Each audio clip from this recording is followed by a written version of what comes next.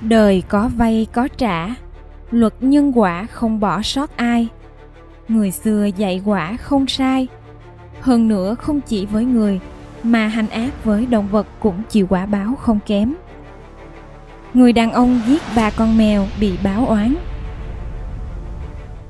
Năm đại hòa thứ sáu thời đường, tại huyện đoan khê, tỉnh khang châu này là huyện đức khánh, quảng đông, có một người tên lý vực lý vực có một người bạn thân gần nhà tên là thôi hiệu. Hai người từ nhỏ đã rất thân thiết với nhau. Nhà lý vực có nuôi một con mèo cái, rất hay chạy tới nhà thôi hiệu trình bắt chuột. Có lúc còn ở nhà thôi hiệu mấy ngày liền. Một năm nọ, mèo ta làm ổ và sinh hai chú mèo con trong nhà thôi hiệu. Thời đó người dân trong vùng có quan niệm, mèo nhà khác sinh ra tại nhà mình sẽ mang đến vận rủi cho gia đình khi phát hiện mèo nhà lý vực sinh con trong nhà mình. Thôi hiệu vô cùng tức giận, không nể tình bạn bè. Hắn ta sai người hầu dùng dây thừng giết chết ba mẹ con chú mèo, rồi quăng xác xuống sông. Chưa đầy một tháng sau, mẹ của thôi hiệu đột nhiên không bệnh mà qua đời. Thời ấy khi cha mẹ mất, cần về chịu tang ba năm để làm tròn đạo hiếu.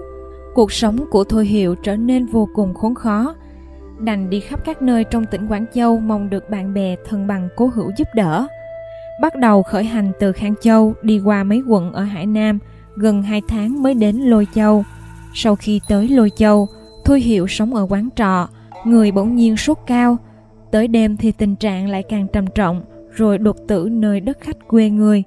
Trước khi chết, thôi hiệu nhìn thấy hai người, một mặc áo vàng, một mặc áo đen, tay cầm một cuốn sổ nói với anh ta chúng ta phụng mệnh diêm vương tới bắt ngươi. Thôi hiệu ngơ ngác nhìn họ, không phục, phản đối rằng, cả đời tôi trong sạch chỉ làm việc tốt, chưa bao giờ làm việc xấu. Tôi phạm tội gì mà các người lại bắt tôi tới âm gian?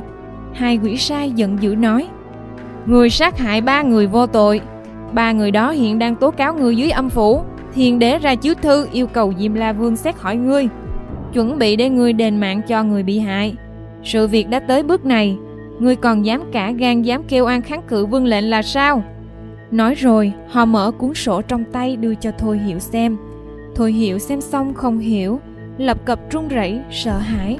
Mặc dù không nhớ ra được mình đã phạm tội gì, khi đang giằng co sắp bị lôi đi, đột nhiên thôi Hiểu nhìn thấy một vị thần xuất hiện.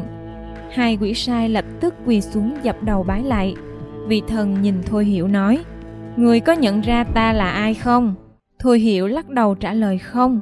Vị thần cho biết, ta chính là nhất tự thiên vương, là vị thần mà đã được gia đình ngươi tôn kính, thờ phụng hơn hai thế hệ. Ta vẫn thường muốn tìm cách báo đáp gia đình ngươi. Này biết ngươi gặp nạn nên đặc biệt tới giúp. Nghe xong lời của vị thần, thôi hiệu vội vàng quỳ xuống dập đầu, cầu xin cứu giúp. Thiên vương nói với thôi hiệu người cứ đi theo ta ta bảo đảm ngươi sẽ không bị tai họa. Nói rồi vị thần bước đi. Thôi hiệu đi theo thiên vương, phía sau có hai tên quỷ sai áp giải. Không lâu sau đó họ đi tới một cửa thành. Thiên vương bảo anh ta đứng ngoài đợi, còn mình đi vào trong.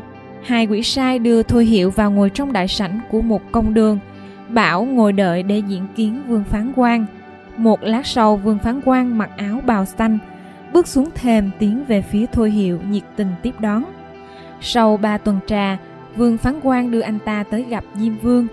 Tay cầm một công văn không cần đợi thông báo. Đi tiến thẳng vào diêm vương đại điện. Vào tới bên trong, anh ta nhìn thấy diêm vương đang ngồi đối diện với nhất tự thiên vương trò chuyện. Thấy anh ta vào, nhất tự thiên vương bèn nói với diêm vương, ta chính là vì người này mà đích thân tới cầu xin diêm vương tha thứ. Diêm vương không nhìn thôi hiệu mà nói, cho dù thôi hiệu không tự tay giết người tuy nhiên anh ta đã đích thân ra lệnh cho người khác sát hại và quan sát xuống sông. Thấy vậy, thiên vương bèn truyền lệnh đưa người bị hại lên công đường. Một lát sau, có người dắt một người phụ nữ lên công đường. Phía sau người phụ nữ có hai đứa nhỏ. Cả ba mẹ con họ đều có hình dáng đầu mèo thân người. Ba mẹ con họ vào tới công đường thì không ngừng khóc lóc sụt sùi. Tình cảnh vô cùng thương tâm. Tố cáo thôi hiệu vô duyên vô cớ sát hại mẹ con họ. Thiền vương nghe vậy liền quay sang nói với thôi hiệu, ngươi hãy mau chóng hứa với mẹ con họ sẽ chép kinh sách để lập công đức giúp họ sớm được siêu độ. Trong lúc vừa hoảng vừa sợ, nhất thời tôi hiểu không nhớ rõ tên kinh phật mà có người ở nhân gian thường niệm. Chỉ nhớ tới một bộ, liền hứa với linh hồn của ba mẹ con nhà mèo rằng sẽ sao chép lại quyển kinh thư này cho mẹ con họ. Khi vừa hứa sẽ thực hiện việc chép kinh, linh hồn ba mẹ con mèo kia liền biến mất thôi hiệu nói trong ân hận, kẻ hèn này chỉ nghĩ là hành ác với con người mới chịu hậu quả, mà đâu biết rằng sát hại động vật, hậu quả lại nghiêm trọng như vậy. Diêm vương đáp lại, chớ nghĩ hành ác với động vật là không có tội. Tội ác này sẽ quy ra mức độ mà tạo ra quả báo tương xứng. Con người dương gian sống trong mê muội. Đâu biết rằng hết thảy mọi việc ác đều có báo ứng. Có kẻ đã biết còn cố ý làm. Nghiệp báo tạo ra vô cùng to lớn xuống âm gian phải chịu thống khổ kinh hoàng. Diêm vương và nhất tự thiên vương cho phép thôi hiệu từ dưới bậc thang lên ngồi trên công đường. Thôi hiệu vội vàng hướng về phía diêm vương bái tạ. Diêm vương cũng thi lễ đáp trả. Diêm vương nhìn anh ta và nói, việc của anh đã giải quyết xong rồi, anh hãy nhanh chóng trở về nhân gian đi. Trần gian và địa phủ là hai thế giới hoàn toàn khác nhau. Anh là người sống, bởi vậy tôi không dám nhận lễ của anh thôi hiệu trở lại dương gian đi tới quán trọ ở lôi châu, nhìn thấy thi thể của mình đang nằm trên giường đắp chăn. Thiên vương quay sang nói với anh ta, đừng sợ, đây chính là nhục thân của anh. Anh hãy từ từ đi vào thân thể của mình đi. Thôi hiệu làm theo lời của thiên vương, dần dần đi vào nhục thân của mình và sống lại.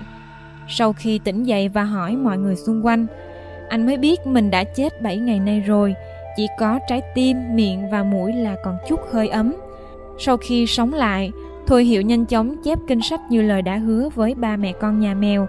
Sau này, ông lấy chuyện của mình kể lại với mọi người để răng đe và hướng thiện người đời. Phật gia giảng, nghiệp lực luân báo.